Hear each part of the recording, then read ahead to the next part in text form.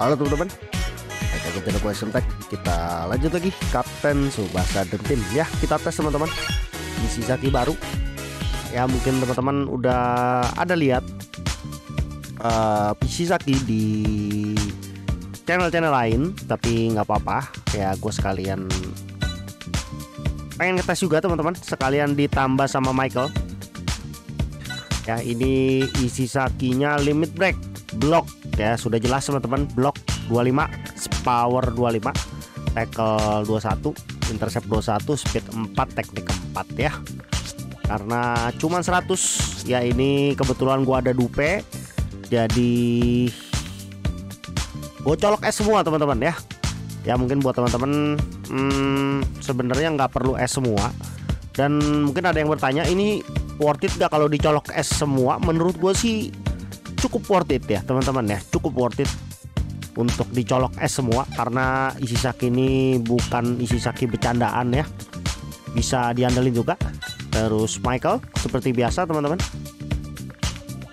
Oke ini bondnya 24,5 ya sebenarnya sih uh, bisa ya. Ini begini bondnya 26,5 cuman kita tes yang ini aja ya Oke, kita cari lawan ya, teman-teman. Oke, kita dapat lawan. Dapat Sano FC Subasa.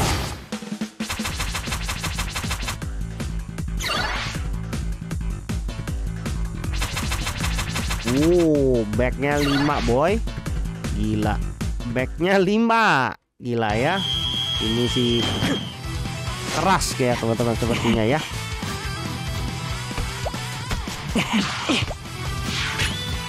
切り抜けてみせるぞ。俺は負けん。Hmm.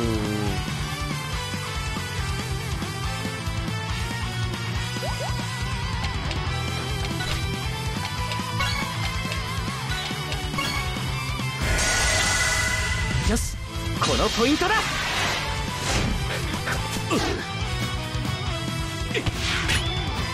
uh, gue mau sedikit infoin teman-teman. Jadi uh, buat yang bertanya ya kapan sih Michael sama Rafael itu dapat skill S baru? Ya kayaknya ya teman-teman ya. Kalau yang gue dapat info itu bakal nongol di akhir bulan Desember.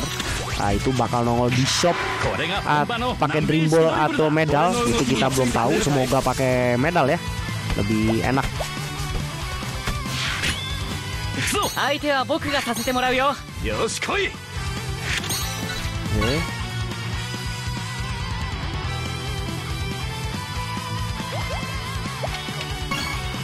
Eh, Michael ya butuh skill S 友達になるんだ ya kan untuk defense dan sebenarnya sih nggak terlalu penting teman-teman tapi kalau ada itu sih jadi gokil juga Michael ya naik lagi eh, peringkatnya teman-teman yang belakangan ini jadi nurun ここは勝負だ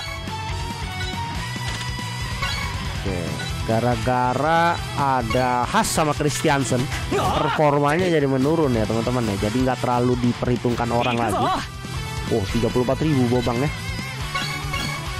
Malah yang gokil itu memang duo Denmark itu 僕が点 memang を取るんだ gimana ya? Kayak auto goal ya teman-teman ya si si siapa namanya si Has itu ya. Ini berat banget emang nahannya. Apalagi kiper sekarang kan belum ada lagi kiper yang memang anti bola udara ya teman-teman. Debat gue, Uh, apa tuh? Jadi yang anti udara itu Ken ya kan. Nah, cuman masalahnya Ken gua rasa juga nggak bakal sanggup nahan siapa namanya si Has ya kalau gue bilang ya. Memang terlalu gila sih itu sih kalau gue bilang. Jadi, oh Gila kali ini orang. Gila kali ya. Sudut dia sih jelek ya teman-teman. Cuman gua aduh, gua gak ada skill bawahan lagi. Terpaksa. Jadi kita lanjutin jadi Michael itu bakal nongol skill satu, kayaknya apa dua skill defense yang S. Terus kalau Rafael tuh lebih wajib ya kalau gue bilang teman-teman ya. Lebih memang lebih kepake dibanding siapa namanya Michael ya. Gue lebih butuh skill S. Oke, okay. kena kan? Kalau Rafael ini dapat satu aja skill intercept yang S aja. Wow, gokil lah kayaknya ya. Karena memang uh, lemah memang Rafael ini di intercept.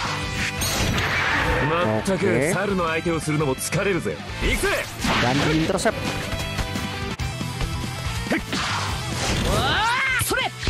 Hmm.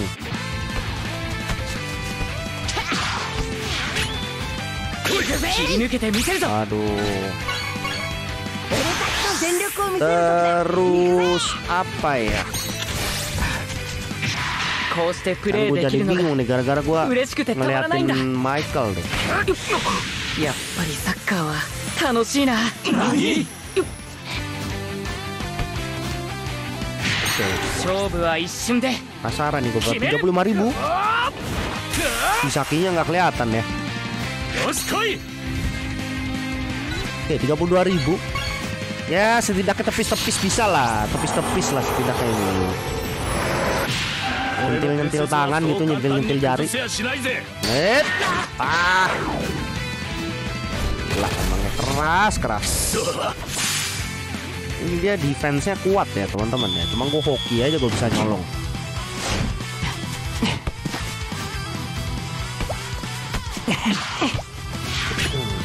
Kiri nukete miseru tasu るぞ受けて立つぜ Oke, gue balas ya. 36.000 kalau gua ya. Kalau lu tadi 32.000. Waduh, kena fall. Kojiro emang ya. Kasar emang Kojiro ini. Gak bisa dia kalau nggak main kasar dia.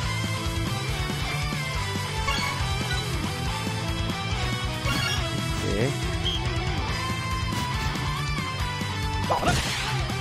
Hmm. 切り抜けてみせるぞここで守るんだ Tapi ini kosong sih. Tapi kayaknya lebih aman Michael yang nge-shoot ya. Meskipun Michael ini kalah elemen sih ya. Bobang kalah momentum tapi menang elemen. こうしてプレーできるのが嬉しくてたまらないんだやっぱりサッカーは楽しいな何 Nani?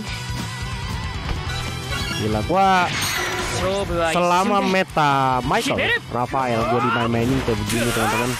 Karena gue nggak punya kiper kuat. Ya kiper paling kuat gue ya waktu itu ya Muller ya kan? Sama Mitsu ya kan? Jadi lebih sering banyak pakai Muller waktu itu. Cuman Muller gampang sekali kejebolan sama Michael karena menang elemen.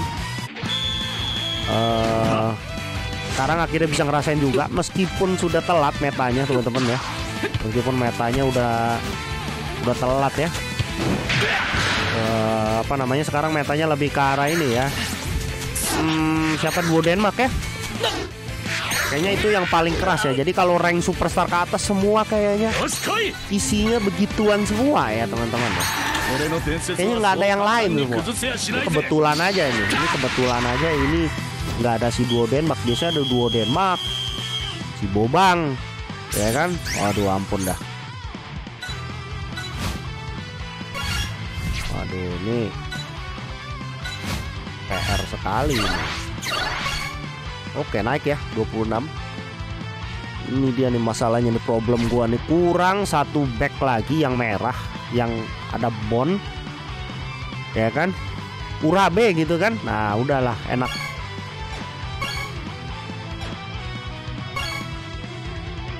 Hmm.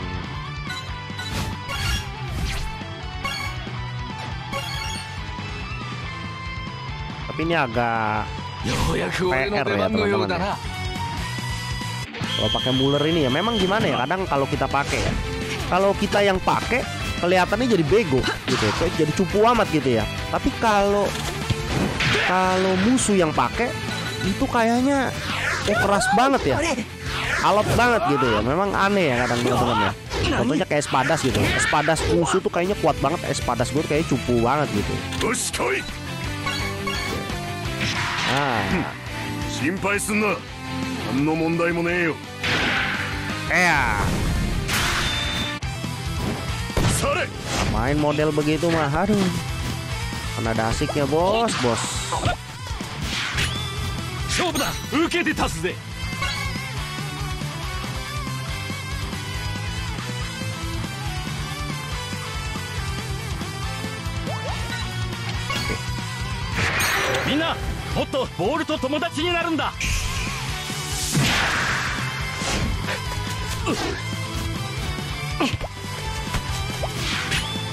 切り抜けてみせるぞ。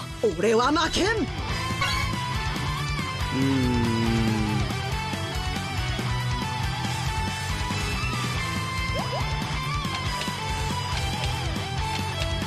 頑張れ不思議だ。OK このポイント。おお、レワッアンジェット。うん。一気に抜けてやれ。負けるか。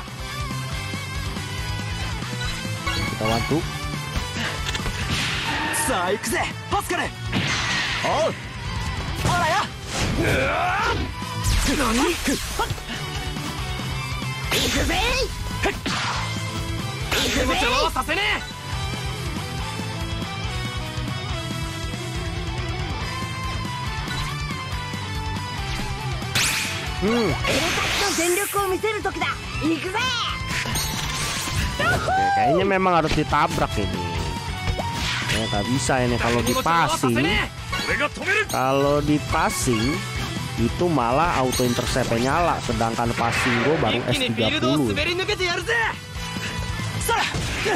gue nih terlalu banyak tim jadi ada jeleknya gue teman-teman kayak gue nih ya. Gue ada tergue terlalu banyak tim jadi gue juga bingung mau naikin yang mana gitu ya. Jadi black ball itu kayaknya nggak nggak fokus ke satu pemain gitu loh. Eh nggak ke satu tim gitu loh. Karena kalau gua nggak main untuk satu tim ngandelin satu tim itu gue cepet bosen teman-teman. Jadi gua naikin ada opsi gitu. jadi biar nggak bosen.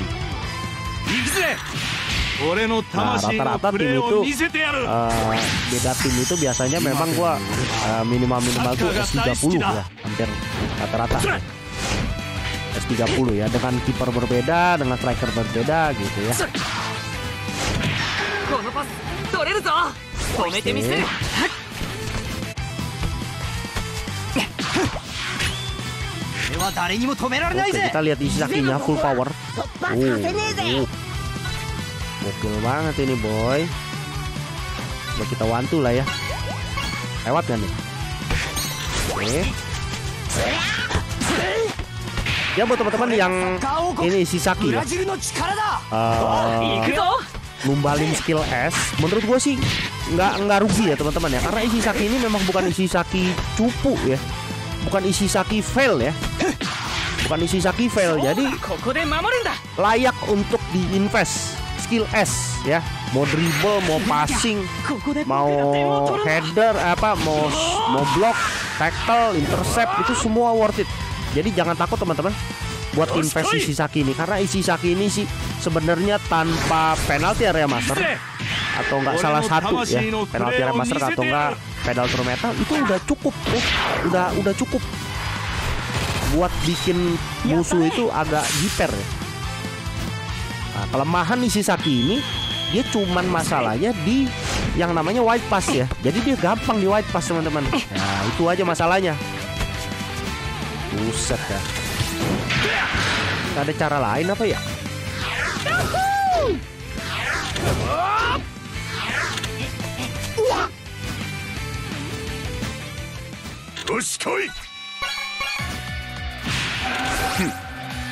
Ayo dong, gue pengen ngasih dia. Tapi isi sakinya udah ini lagi ya. Udah habis full power ya.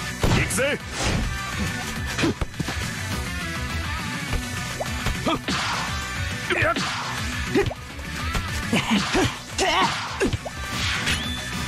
こは勝負だ来い俺は負けん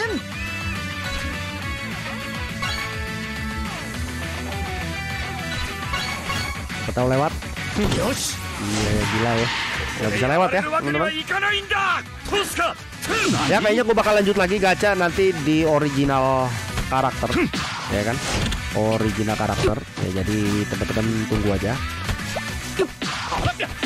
Aduh Offside dong Babang Babang offside Oke, musuhnya kabur teman-teman ya. Intinya meskipun kita nggak bisa lihat isi sakinya, ya tapi tadi kita ada gambaran sedikit isi sakinya kita bisa lihat dari musuh, ya.